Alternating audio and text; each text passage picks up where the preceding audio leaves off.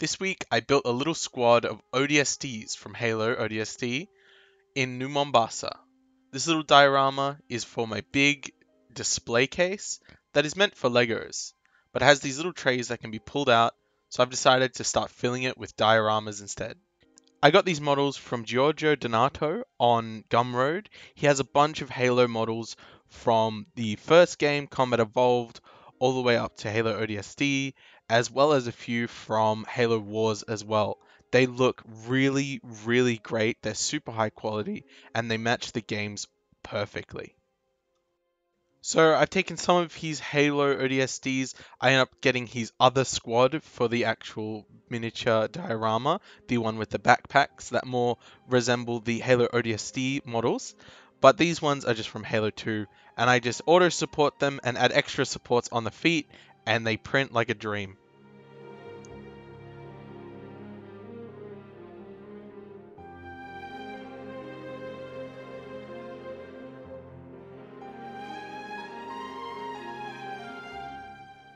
So once these are printed, I give them a coat of primer just to protect the resin from overexposure. And I start lining it up and picking where I'm going to place all of these things.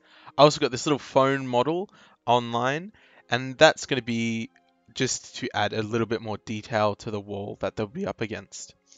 So I'm just going to line out where I want the road and where I want the sidewalk to end, essentially.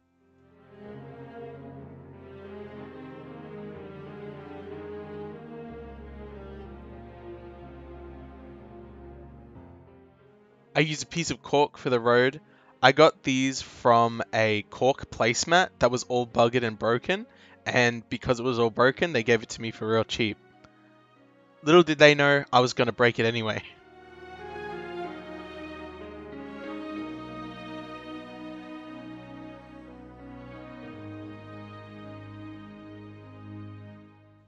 For the sidewalk, I just grab a piece of foam core and cut it to match the rest of the size of this little base that I have. The main reason is just because it is a little bit higher than the cork.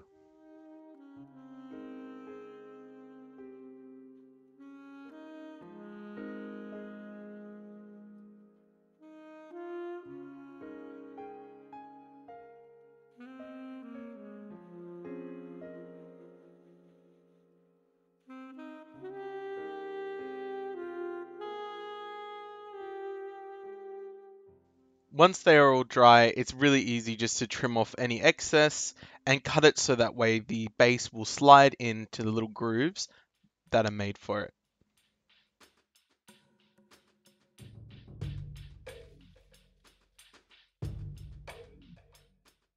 I then grab some milliput to sculpt out a little curb to go between the road and the pavement. I split these up so it looks like they're made of little bricks, as well as giving them some nice cracks as well.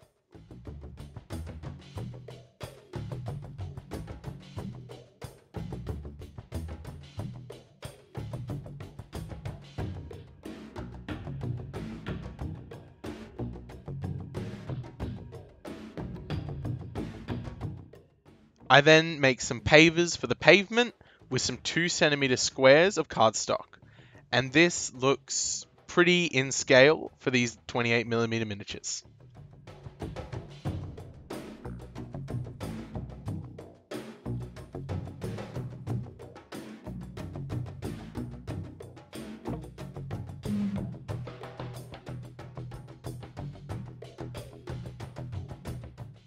As I'm doing it, I'm not lining it up with the base, I'm lining it up with the side of the road and the curb.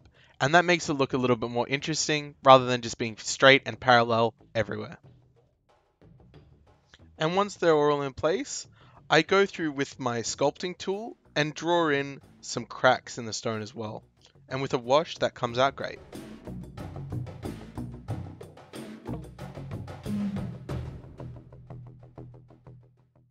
Dry, I'll just trim off the excess and get to work on this wall. I really want to have this phone booth sitting up there because that tends to be something that you interact quite a bit with in Halo ODST. So I'm just going to mark out a spot for it and then place that into the wall before then placing down the wall. Again, made of foam core just because it's really easy to work with.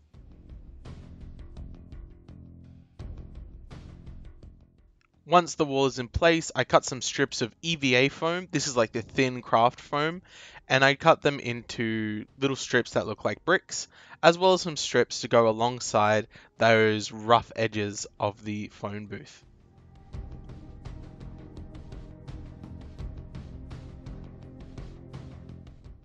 To make the clean streets look a bit more like dirty streets, I grab some PVA glue and cover it in all of the corners and a little bit along the road. And then I'm just going to dump some of my mixed cover all over that. And this is just made of a bunch of different pieces of flock that have ended up in this container.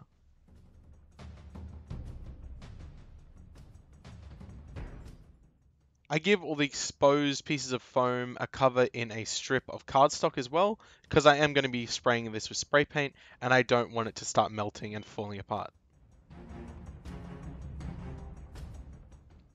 As well as that, I also add a little strip along the side just to put a little bit more color and detail into the final thing.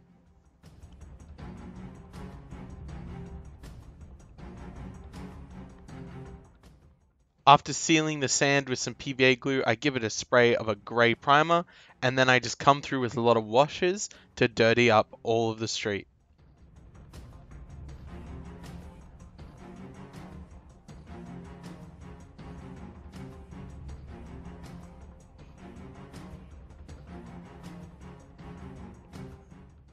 I then give the phone booth a little bit of a blue electric sort of look that looks a bit more futuristic than just a grey.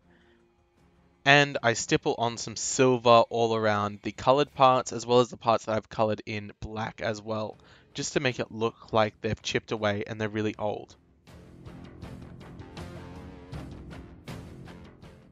I then add a sepia wash to some of the walls to add a bit more colour and also to the dirt, which ends up really looking really great.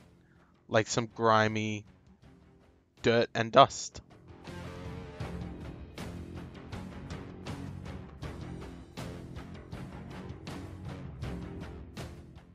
I then printed out a tiny scale poster of the Destiny Awaits Easter egg in Halo ODST.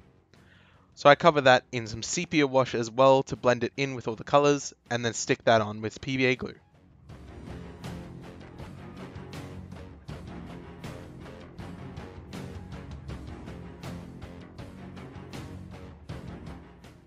It's now time to start adding the small ODSTs. I painted these pretty simply. I just used the Gravelord Grey from Army Painter's Speed Paints and covered the entire thing. I then picked out any of the undersuit with black. I chose some highlights out with red, painted the visor in a shifting metallic from Vallejo, and painted the gun in a silver. When it was all dry, I just stippled on some silver highlights to act as scratches or dents in the armor and it came out looking really amazing.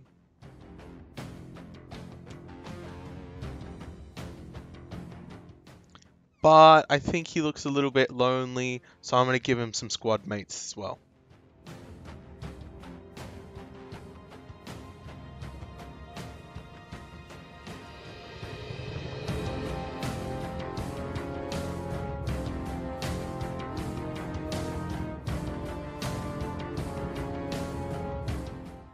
And finally, I'm going to give the edges a coat in a matte black, just to make it look a bit cleaner.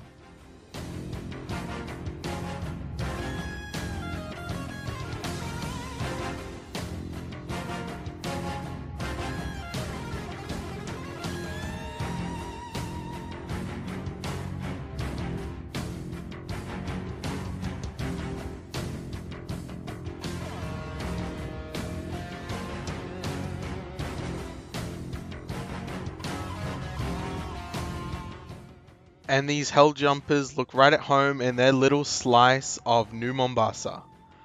I don't know how they ended up there or what they're doing, but Godspeed.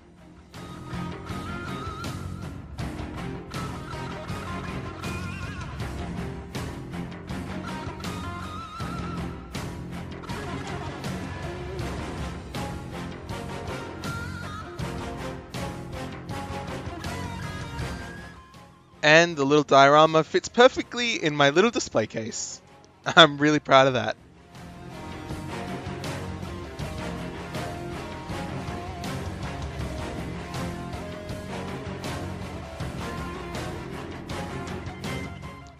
Thank you for watching, and I'll see you next week with something different.